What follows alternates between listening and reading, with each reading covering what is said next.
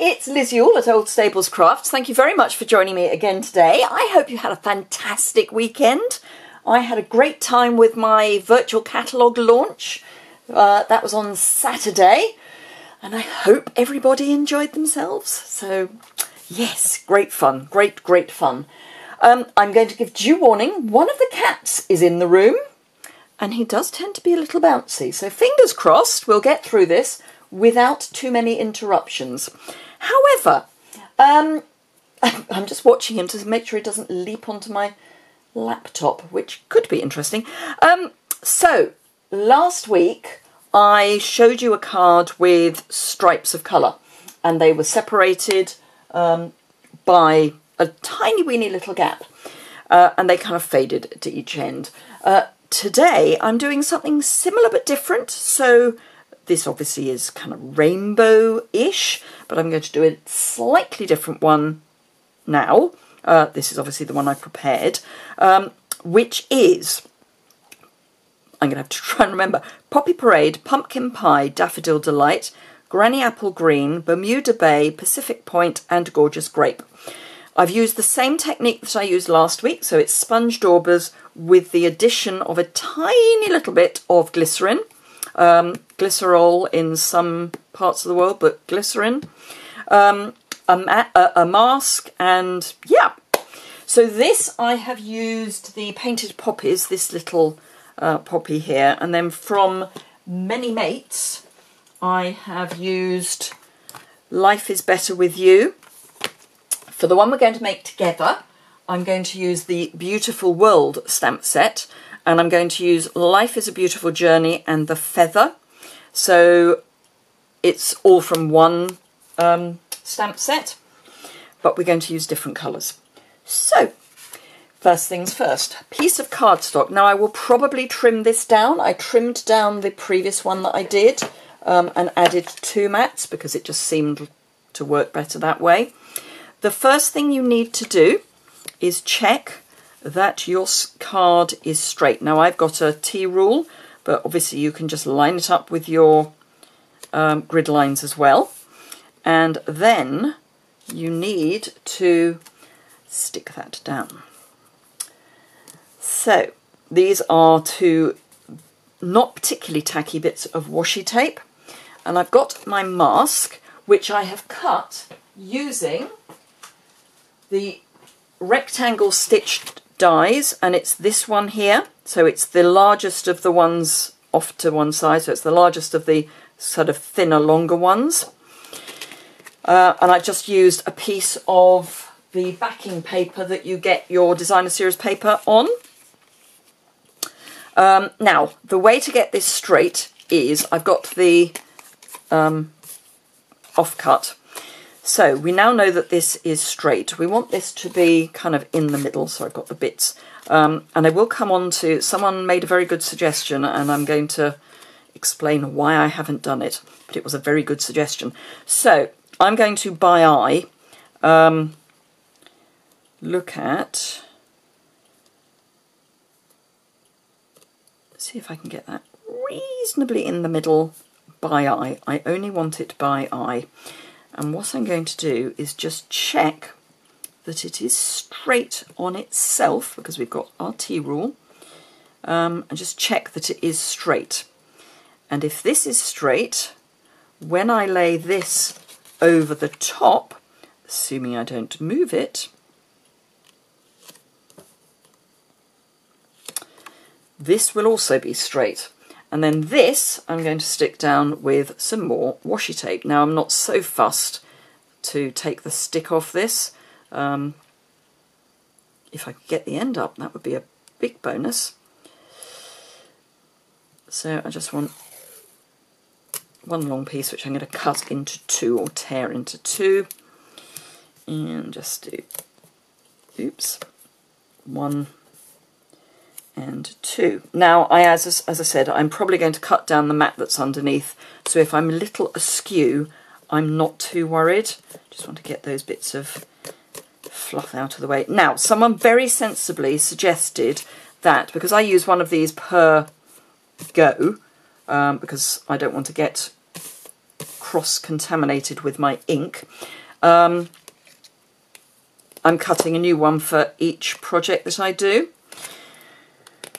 The suggestion was, and it is a very good suggestion, that I should use window sheet. I'm not a great one for die cutting window sheet. I'm just not very good at it.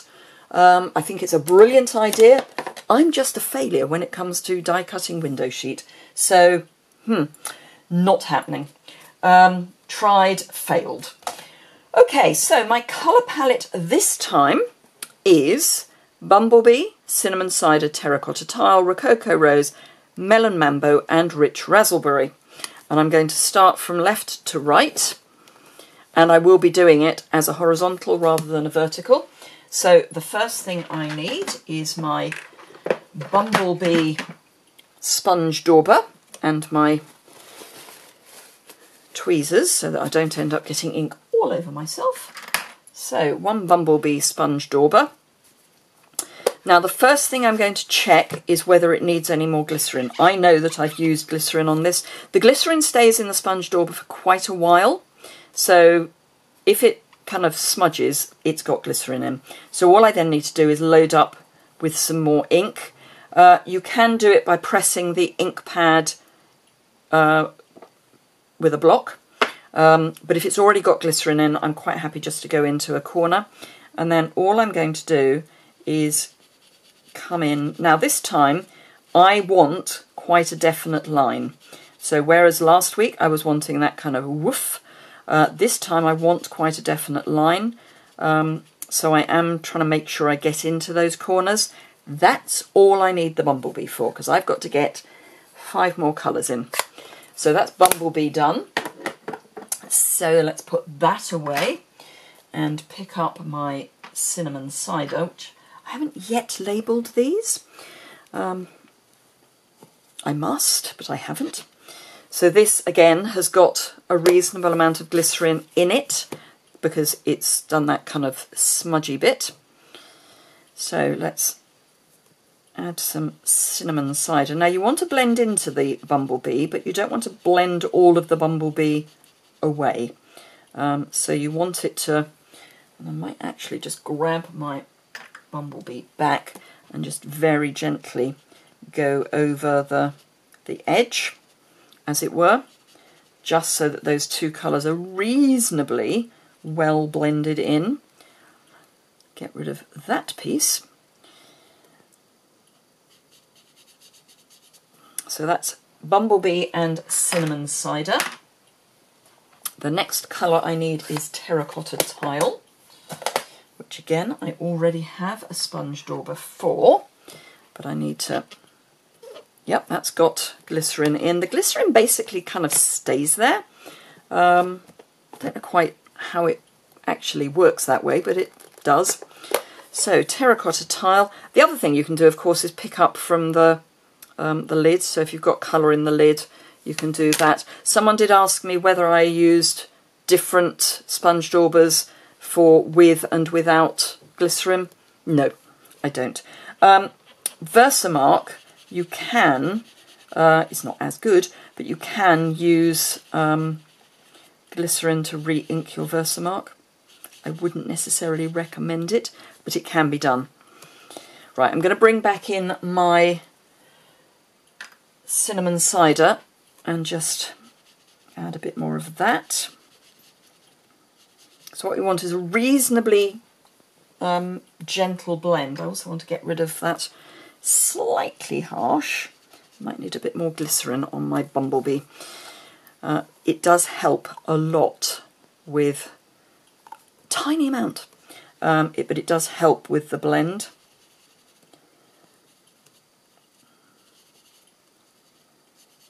So there we go, that should help a wee bit. Actually, I just want to clean the top of my pot before I... Now, I've had this pot of glycerin for, ooh, I don't know, over a year. Um, you don't really use very much. Uh, I'll leave those out because that will save me having to go and get them again. Right, Rococo Rose. Again, I think I have a dauber all Rococo Rosed. That doesn't seem to have had glycerin on. So let's, you, you almost get a wet mark if it has. And again, tiniest amount. And then just kind of work it in a bit. Rococo Rose.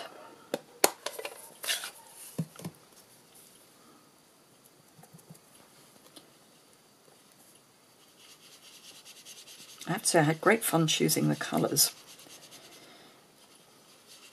I wanted ones that kind of went, you know, blended reasonably well together. But I did want there to be a very definite, good grief, how have we got from that to that? Right, so that's Rococo Rose. Next we need Melon Mambo. So I need my other box. So, Melon Mambo. Is that Melon Mambo? No. Mango Melody. Oh, there we are. I've found it. Melon Mambo. And then we need Rich Razzleberry. So let's, that's Blackberry Bliss. That's Rich Razzleberry. Right. Okay. Melon Mambo. Possibly had glycerin on. Not convinced. Now it's had glycerin on. You see it's just a completely different look. Don't know if you can see that, it may just be me because I'm close to it. So I'm going to pick up some ink from the lid because it's there anyway and add that. Now the reason I chose Melon Mambo over, for example, Magenta Madness is I think of Melon Mambo as more of a um, a kind of dusky blue pink, if that doesn't sound odd, probably does. Um, and because I'm going from Rococo Rose, I wanted something that was a bit dusky, whereas Magenta Madness is kind of in your face. Right, Rich Razzleberry. Again, probably needs some glycerin.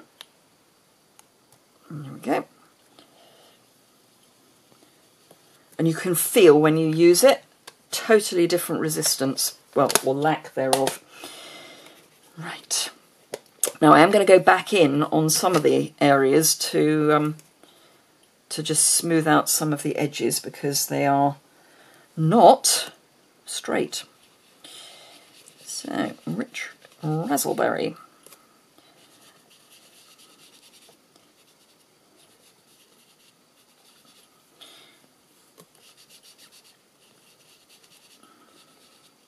There we go. So that's my rich raspberry done. Let's come back in with my ma melon mambo. And just straighten the edge. Back with my Rococo Rose and straighten that edge. And terracotta tile.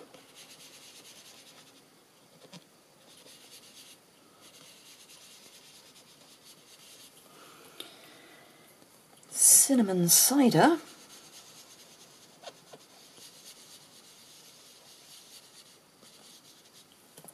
And last but not least, bumblebee.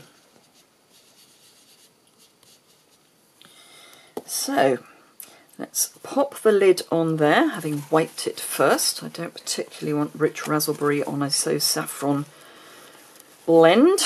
Not a good colour combination clear those out of the way. Pop those on a lid so that I know that they've got to go away properly. And it's moment of truth time. So let's lift that up. Ooh, finger right in the rich raspberry. Not the best move I've ever made. So there we go. pop that in the bin. And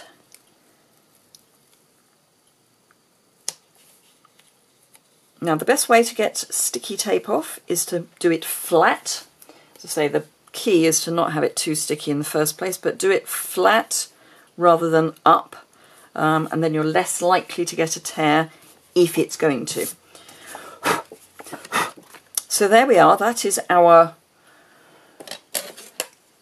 piece. So let's bring in the tool, the tool of truth. That looks straight. Yep. So therefore it will be straight in every direction. Let's see if it's reasonably even. So we've got just under an inch there and an inch there. Sorry, just over an inch there. Right, so I can trim from this side. And then here we've got just under an inch and just under an inch. So I need to trim from both ends on that one. So put my T-rule away to get rid of that if I can without it smudging. Okay, so I want to cut that down just a teeny weeny weeny teeny weeny bit. So now of course I can't remember which was which side. Uh, okay, so that's going to there. That's going to, right, so this seems to be the, the narrower side. So I want this down by about an eighth of an inch. So I think I'm just going to be slightly cautious and do a 16th at a time. I will have the final measurements on my blog post, um, so you can pick those up from there. Now I haven't yet decided which colour mats I'm going to use. That is part of the, in inverted commas, design process. So that goes to there, that goes to Right, so this I think I can take an eighth off without any problem. Okay, yep, that's there or thereabouts. So, I'm thinking possibly Rich Razzleberry. Let's find my regals. So, Rich Razzleberry. And I wonder if rich raspberry and terracotta tile, or maybe rococo rose actually.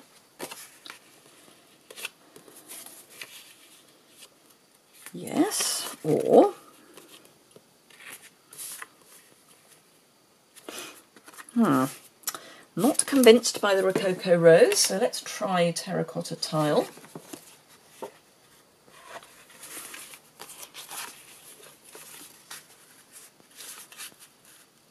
Ooh, I quite like that. Apart from anything else, I want this to be a more masculine finish. So let's go that way. And I also need a card base. Don't have a white card base out, so let's sort that out. Nothing quite like planning in advance, is there? And this is nothing quite like planning in advance. Right, so half a sheet of Whisper White, which for those of us using International A4 is 14.9 centimetres. Whoever dreamt up that International A4 was going to have such stupid measurements. It's 21 centimetres across, um, so 10 and a half, um, but 29 point something ridiculous up and down. So why it couldn't have been 30 by 21 and a half, I do not know. Okay, so, and I think I'm going to go from Bumblebee to Rich Razzleberry. Now, this one I need to cut down by an eighth of an inch on two sides. So I don't know why I put that away. So I want that to be three quarters, three and three quarters by five and a half. And then the side, the whisper white I've cut down by an eighth, and this is an eighth bigger. But as I say, the um, measurements will be on my website, and the link to that is immediately below. While I'm putting this together, um, very good time for you to think about subscribing to my channel. Um, it really does make a difference. So if you would like to help me out at no cost to you, uh, subscribe is good. If you would like to know when I am, I have videos posting, also click the notification bell. Um, I do do some, I mean, I have a kind of regular time of posting, but equally I do have some that are irregular um, because I'm involved in a number of design teams. Um, I do, I do um, have some that go live at other times. Now I'm going to stick this down to my card front and then I'm going to do the stamping on this piece, which I haven't forgotten. Well, I had really, but I've remembered now. So for this one, the feather is going to go outside the piece of uh, the piece that we've coloured. I'm going to use my Stamparatus because I want it to be really, really black. Um, and because I'm using Memento, uh, the easiest way of making sure you get a really black image is to stamp it more than once. And because I'm using a red rubber set of stamps, um, I don't need to worry about having the mat in. So, oh, I've got my stamps out. Silly girl. Silly, silly girl. So I'm going to have Beautiful Journey there. And then the feather there. But I am going to stamp the feather separately. Um, so let's do Life's a Beautiful Journey first. Uh, I'm just going to pop a block under there because that will give me some support while I'm inking. Stamp case will work really well for that as well. So let us ask, give that a good press. And up. And you can see it just, it just needs a little bit more, probably three goes and a bit more pressure at this end. The end that's nearest to the hinge does need a bit more pressure. Yep, just a bit more at this end. So I'm going to not ink up the full. Just going to do the Life's a Beauty. Yep, happy with that. So I can take this out and turn it around. And now pop this down. And the reason I want the feather to be separate is because in an ideal world, I would like it to be coming just off. I shall have it just a little bit further away. Just off the end of the L. Let's go there. So it looks as if it's probably something from Harry Potter actually. Um, a magic quill.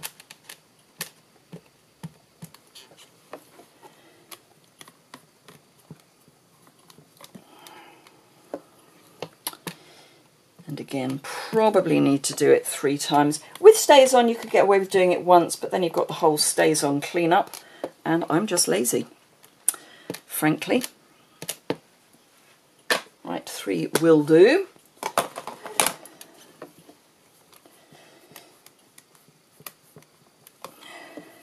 Go. So we can oh, pick up our magnet, remove that, clean that up in a moment, and just finish off our cards. Now, if you wanted, you could put this up on um, dimensionals. I don't think it needs to be because it's it's got so many layers anyway. Uh, and I'm going to use my seal. I keep hoping, in an odd way, that it's going to run out because then I could do a, and this is how you change your seal. But I'm, yeah, it's just not running out.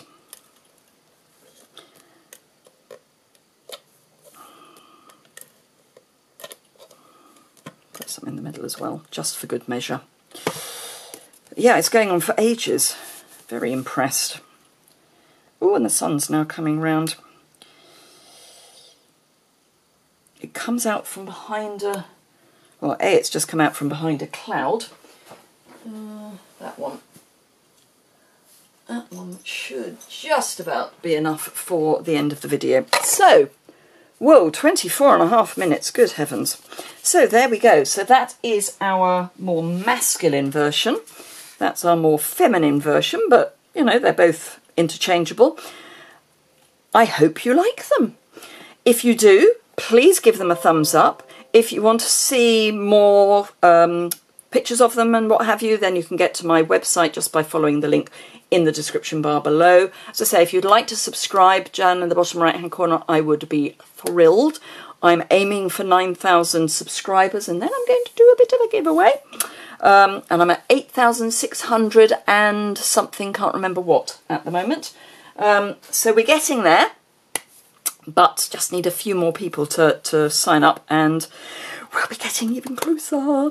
Anyway, I hope you have a fantastic week. Thank you very much for joining me this morning and I look forward to seeing you again very soon. Don't forget, if you've got any questions or comments, below the description bar. Thanks a lot. Bye.